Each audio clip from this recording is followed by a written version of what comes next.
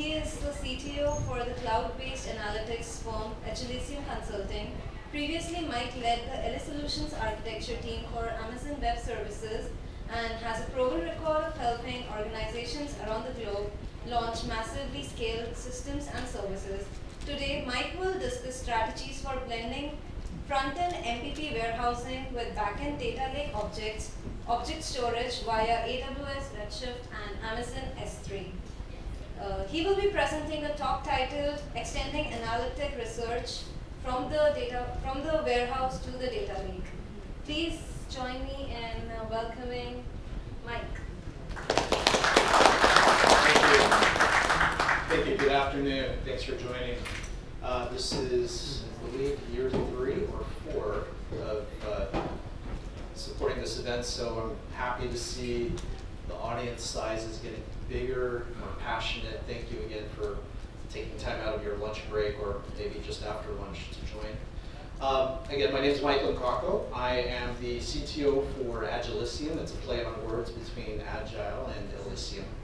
Uh, we could we could have a beer over the naming of that. Um, but uh, happy to be here. Prior to joining uh, Agilisium, uh, we focused, I focused uh, on LA clients, on LA uh, enterprises, large enterprises, in helping them design and develop innovative approaches to address their data challenges. Um, so the, the, the goal here is to continue that focus, that hyper focus, continuing to elevate innovation and provide that to clients and consumers.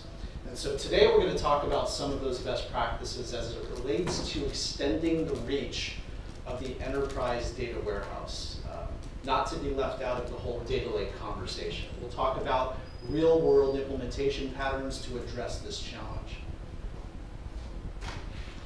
Let's talk shop, let's, let's dive right into it, and let's start with the premise that most data in the enterprise is dark. The concept here is, and if you, if you do your surveys and do your studies and do your research or even gather your feedback from your clients and consumers, you'll understand that the growing trend is to collect even greater amounts of content and data, whether it's through web, mobile, IoT, connected devices, sensor and telemetry data. It's just becoming that much easier to be able to collect and aggregate that data, especially with the ubiquitous storage capabilities of cloud-based storage. But the problem is that most of the data that's being collected is either being left on the floor or purposely being purged out of online experiences, online IT experiences. Sometimes we have to make tough choices. We have to make choices with respect to performance and cost. We can't keep exabytes of data online necessarily and put that in a warehouse, even if it is based on a, hyper successful platform, pick your technology of choice. There are choices to be made. And so when we talk about data lake, which is such a big buzzword, right? It's been a buzzword for a couple of years, but at the end of the day, I think we're, we're moving past that. We're moving past data lake. We're now into galactic, planet-sized oceans of, of, of, content. And it helps to think about data lakes in, in the context of where we're going in the future, which is almost ocean-sized uh, collections of data. The interesting thing about this, though, is that there is this aspect of data that presents itself and is exposed and is online. It's manipulatable, it's discoverable, it's, it's queryable. But that, that is merely the tip of the iceberg. This is the experience I see in working with many customers here in LA. I'm sure you can relate to this because at the end of the day, there's an ocean of content beneath that that is either left off in the archive or perhaps not even in the system because we, we've had to make choices. We can't keep an infinite amount of data online, for example, in our warehouses. It's again, it's a cost and performance uh, conversation. So we're almost going from concept of big data, which is above the surface, to what I'm calling, and what you'll hear in industry is enormous data. We're now in that realm. The interesting thing to note about this, though, is that there's huge potential in this untapped section of content right below the surface of the ocean. Uh, according to the, the infamous uh, IDC Digital Universe study in 2020, when we're talking about 44 zettabytes of content flowing throughout the interweb, a lot of that, 90 to 90% of that is dark. It's unstructured, it might be left behind, it might not be tapped. There's even the potential for, the estimates are upwards of nearly 40% of that could be gold. So what do we do about it? It would be really nice, and let's talk actual concrete implementation details. This is beyond theory. Um, and because I have a little bit of a bias towards the Amazon platform, having been a citizen of that platform, but I also do, honestly, do believe in the capabilities of that platform. So we'll use that as our example today. It would be fantastic if we could combine the powers of something like Redshift, which provides that low latency online experience for SQL-based interactive analytics, and combine that with the breadth and reach and storage capacity and throughput of something like S3. What if we have the power to create this uniform experience for our IT analysts, our data stewards, our stakeholders, our dashboards? What if we could create this concept of a galactically large, enormous data warehouse, a virtual data warehouse? That's the idea behind this. And we could build it today. It's actually possible. Uh, in uh, April of this year, Amazon launched uh, the latest iteration as a part of its family of analytic components called Amazon Redshift Spectrum. Um, we'll talk about that, but let me just go quickly through some of these other big data key enablers that many customers that we work with uh, adopt. For example, at the data processing layer, we have uh, systems and services such as Amazon EMR, Elastic MapReduce, which is a managed Hadoop service. We have Amazon Redshift, which is a schema on read. It's a dedicated SQL-based MPP warehouse, massively parallel processing warehouse. It's a cluster of nodes that work together to provide a SQL BI type of experience. Uh, Amazon Athena uh, is managed Presto, Facebook Presto, SQL as a service, clusterless, serverless from your perspective. You basically point your client at it, uh, you, sum you submit your SQL, and it, it, it essentially carpet bombs S3 and pulls that data back. On this middle tier, we have other key capabilities, including Kinesis, which is uh, Amazon's uh, functionally equivalent managed Kafka. It's actually not based on Kafka. It's Amazon built it for themselves, and they turned it into a service. Uh, AWS Glue is an ETL as a service offering that's bound to be released soon. Uh, and then we'll talk a little bit more about Amazon Redshift Spectrum as that proxy from Redshift down to the lower levels of this architecture, the data lake storage, object storage, infinitely scaled internet scale storage. Actually, we'll go ahead and just keep moving forward. Let's talk very specifically about these key building blocks. Amazon EMR, again, is a managed Hadoop platform. You basically identify the size of your cluster and the types of applications you want, Presto, Impala, Hive, uh, Mahout, Spark, of course. And you press a button and launches that cluster. Great for those of you who are in the data engineering or data science field and want to be able to run with a managed Hadoop experience.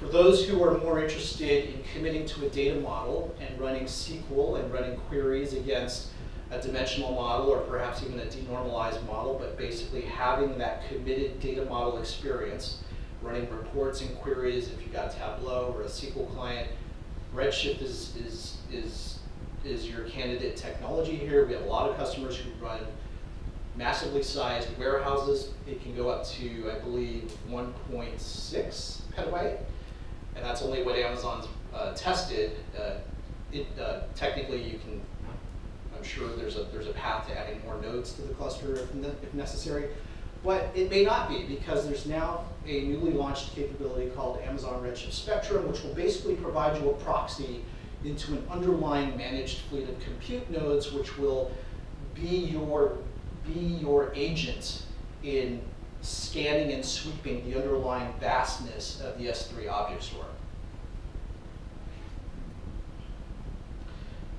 Taking a step back real quickly, normally when we have these conversations with customers, it's usually a conversation of schema on read versus schema on write. Uh, I, I, have, I, have a, I have a workload, I need to be able to do some data engineering, some uh, data wrangling, some ETL, maybe some interactive analytics. Hadoop might be your answer. Uh, there's a lot of great things about Hadoop, especially the fact that it has native S3 integration built in from day one. or early on in the code base of the Apache code base. S3 was always a tier one citizen, just like HDFS. Uh, you can scale out Hadoop to n number of nodes very easily, a, a large um, number of data formats for interactive analytics or for data engineering, Parquet, ORC, RC files, JSON. Very popular with the developer, the, the big data dev developer community, of course. And on the right side, however, as we see more and more customers focusing in on getting that, that very dedicated SQL experience, I'm not necessarily interested in a dynamic sort of always discovering and poking around the, the underlying infrastructure. I know my data model, I have a dimensional model, I have a star or snowflake schema. I'm sourcing my systems from OLTP sources, and I want to put it out there and make it queryable. That's what Redshift's really good at. And it has years and years of optimization behind it. It's, it's sourced from an, originally from a system called, called ParAccel. And it has lots of uh, has, it has a lot of uh, production experience uh, running massively scaled warehousing for many customers worldwide. So the optimization engine behind it is top notch. And I get sub-second typically, if, I mean, your mileage may vary, but the general idea is you can achieve sub-second response times. Uh, and uh, it's really well tuned for things like dimensional models, join optimized. I wish I could have both. Wish I could have my cake and eat it too. And the good news is you can. So now there is this, there is this combined technology that brings the two, the two, the two worlds together. Being able to have the best of an MPP SQL warehouse experience, riding on top of an infinitely large galactic-sized pool of content, S3 backed. This is called Redshift Spectrum. Redshift Spectrum, as you can see on the right-hand side, provides an integration experience uh, from the top of the stack. Uh, BI slash SQL client will connect with the underlying cluster, a Postgres interface. The warehouse will make decisions about what needs to be farmed out to an underlying hidden tier called the Spectrum tier. Spectrum is a number of nodes, a vast tier of nodes that Amazon manages and it makes decisions about sweeping and scanning and doing predicate pushdown down to the underlying data lake. And it combines that data and filters that data back up the stack. Lo and behold, with this tech, we may be able to achieve this vision of a virtual galactic-sized warehouse, a virtual warehouse. Just a real quick note on what's, uh, what this looks like behind the scenes. If we were to submit a query, uh, as I noted earlier, you're going to integrate or you're going to connect with uh, the SQL client interface, the JDBC ODBC connection, provide a Postgres 8 compliant SQL submission. It's a subset of Postgres, uh, but enough to get the job done, especially for OLAP BI types of queries. The system will submit that to what's called a leader node. The leader node presents itself on the network, it intercepts the SQL, builds out an execution plan and compiles it into the native code, and then that is then farmed out to the worker nodes that are a part of the cluster. This is all local area network, 10 gigabit backplane. Those individual worker nodes then make decisions about whether to dispatch and do the work on local attached storage that's a part of each node, a little bit like HDFS data nodes, right? Similar pattern but it also references metadata in this new important capability called the metastore, the meta catalog. It's not necessarily new for folks working with Hive. The Hive metastore is a, is a critical component that helps the control plane in a big data pipeline figure out what needs to be done and where. In the new world, at least in the AWS platform, especially when we see AWS Glue launching a managed Hive Metastore catalog that's supposed to be coming very soon. It's a very critical piece that informs all the moving parts of the ecosystem how to find data in S3. And so Redshift will use that to figure out where do I actually pull the data I need to pull fact data, reference data. If it's sitting out in an S3 bucket, it will know how to route that request down the spectrum. So the spectrum nodes use that telemetry to figure, to figure out that roadmap. They use that to figure out what to do next. They then parallelize their work and pull data up and out from S3. Predicate pushdown, filters, aggregates, everything is done as far as as far down as close as possible to where data has gravity so that we're minimizing the traffic flowing up. That's the beauty of this architecture. You could technically be running a very small baby micro-sized single node Redshift cluster as just the fake head and leveraging the beauty of this underlying platform. Yeah, think about that iceberg picture. So anyway, at the end of the day, results get aggregated back, they get filtered and pushed up into the cluster itself, joins and cleansing happens as normal. The leader node then presents the data back to the client. And we'll do a quick demo showing this idea. So I am going to work with a sample, small sample admittedly, but it, I think it'll get the point across, of using a dimensional model that's split between life having part of its life in what's called the online part of the architecture. It lives in Redshift. I might have the last two years worth of music streaming data stored in my Redshift cluster so I could do very quick analyses to find out who's been listening to what, what parts of the world are listening to what tracks, what artists. For example, this is a music media use case, obviously. And then I might have the rest of that underlying lake or ocean in terms of the last 20 years worth of telemetry. I might have that archived off as CSV gzip files, for example. I might have that off in cheaper storage. There's no compute attached to it. I'm not paying money for it other than what, I, what it takes to store uh, in S3, which is pretty cost effective. So this example is going to show uh, Last.fm, uh, an online music streaming capability or service. It's a sample data set where we have reference data sets in terms of user profile data, up in Redshift. We have a subset of 20 million records stored in Redshift, representing the last few years of content uh, for subscribers and what they've been listening to. And then at the bottom of the lake in S3, we have the remainder of the last decade or the decade prior of content that was stored and captured as far as what people were listening to. The common join key will be uh, user ID, and we'll be using Redshift as if it was just another day. For those of you who use Redshift or something comparable to it. It's just running my same exact queries almost as I would normally. I'm not, I'm not having to retool or re-engineer my thinking very much. It's, it's almost business as usual. And by the way, just in terms of the kinds of content we're talking about, like for someone like me, you know, back in the day, if you went far back enough in time, you'd see the kind of music I listened to. Um, kind of matured a little bit. Uh, I think so. But yes, I used to think that was cool. Maybe he still is. All right, in terms of technology building blocks, uh, what we're going to see here is examples of Redshift with dimensional data and fact data stored in the cluster. Spectrum provides that brokering uh, feature and pulls the remainder of the offline archive fact data from S3, and it's using Catalog to support it, to, to help it determine where to go.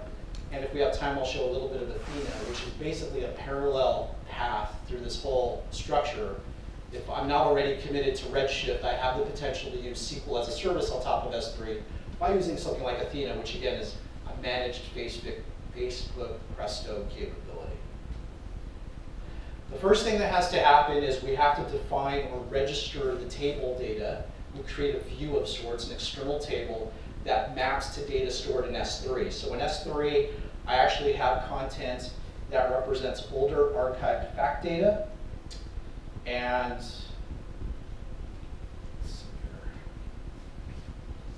so here we are in S3. I've got a couple of CSV files, uh, gzipped.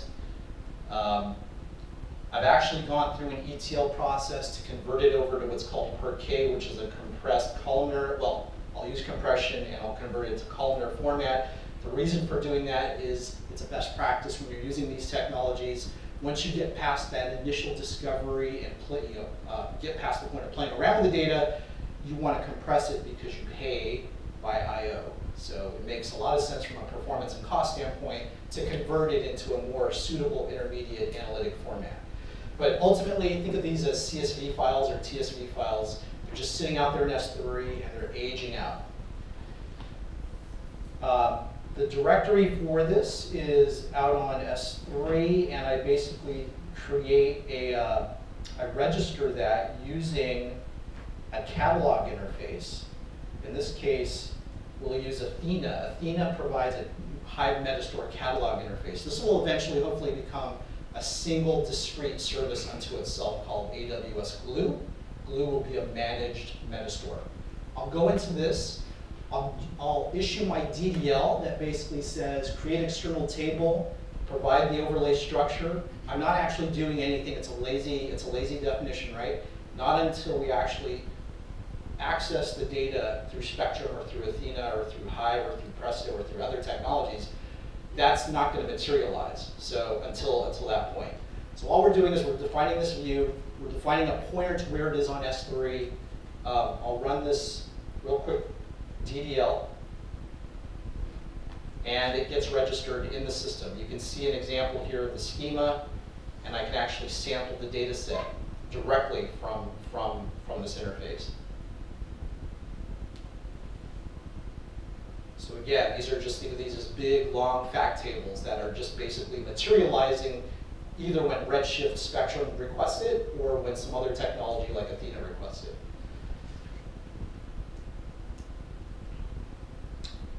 So um, at this point, I'm going to shift gears and show you, after we've defined that table in S3, skipping a few steps forward, we would have loaded that into Redshift. A normal BI warehouse experience would have loaded that as a part of an ETL into Redshift.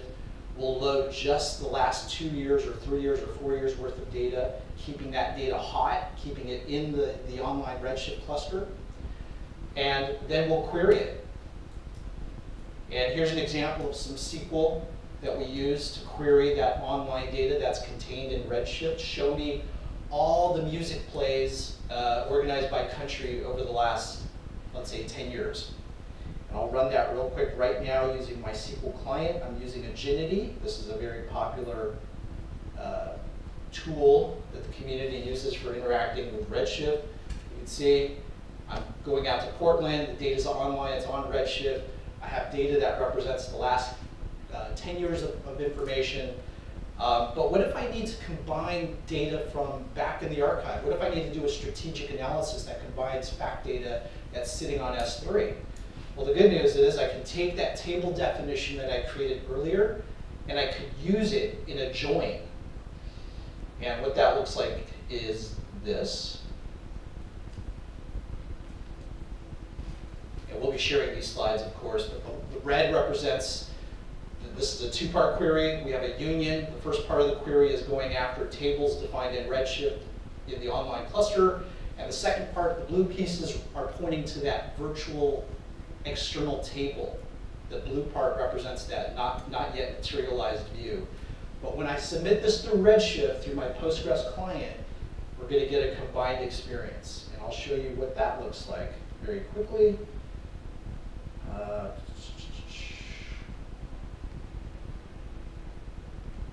so anyone have a timer? One, two, three, four, five. There, okay. Not too bad, considering we're hitting, you know, this is this is sweeping across local area network, wide area network, sweeping across 20 million records and doing this nice clean aggregation.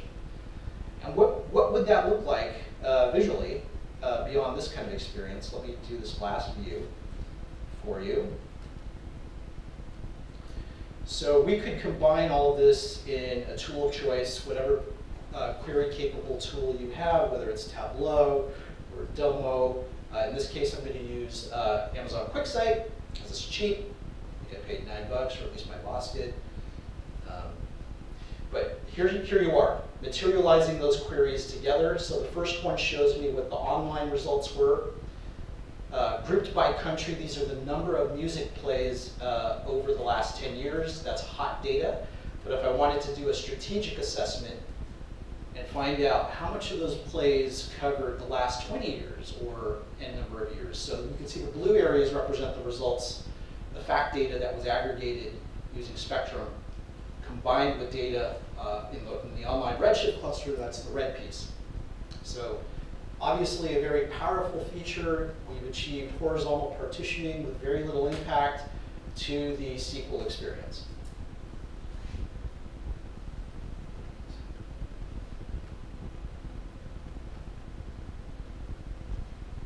Okay, so summarize.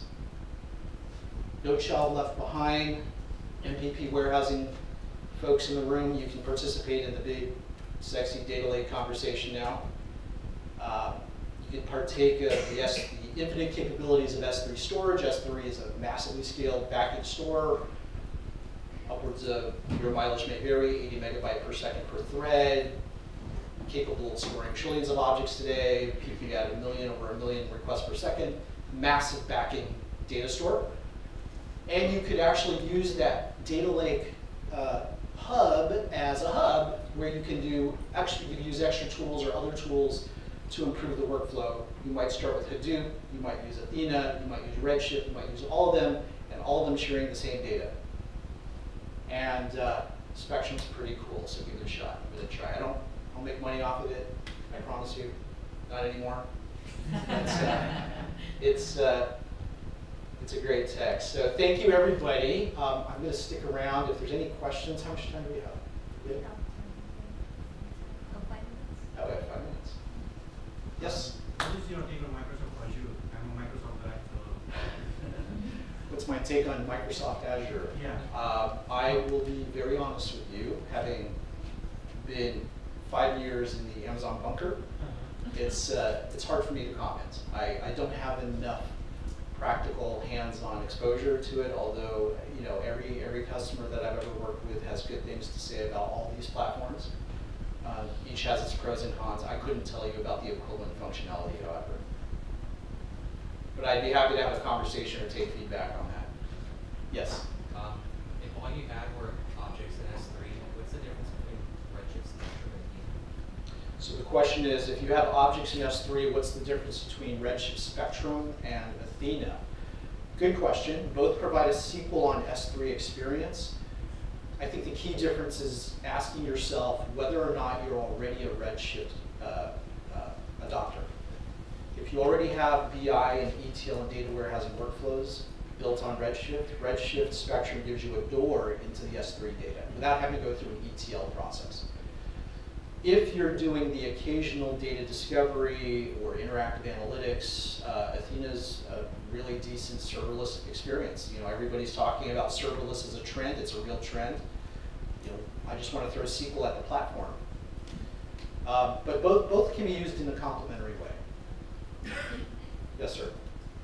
If you have the business users who are used to using a dimensional model, and you have a lot of raw production extracts sitting in your data lake, do you, uh, can you, would you recommend using this technology to build that dimensional model on the fly, or would you maybe do a transformation to get, to get the data into a, a dimensional model? So is the question, let me see if I can repeat the question. Is the question, do we want, with this technology, does it make sense to move to a dimensional model versus? Uh, Let's say your business, it's already a requirement from your business users to, to have a dimensional model. Uh, so I guess the question is, would you build it on the fly as they need it, or would you do transformations? Is, the- is the technology beefy enough or quick enough to do transformations? Yeah, it's a good question. So I, I'll, I'll just the question, at least for myself, so that I can make sure I, I under, understand it is, in situations where I can, I have the opportunity to do this sort of lazy materialize on view, schema on read kind of interaction versus committing to an entire pipeline uh, and then committing to a dimensional model and then exposing that through a, through a warehouse, uh, for example.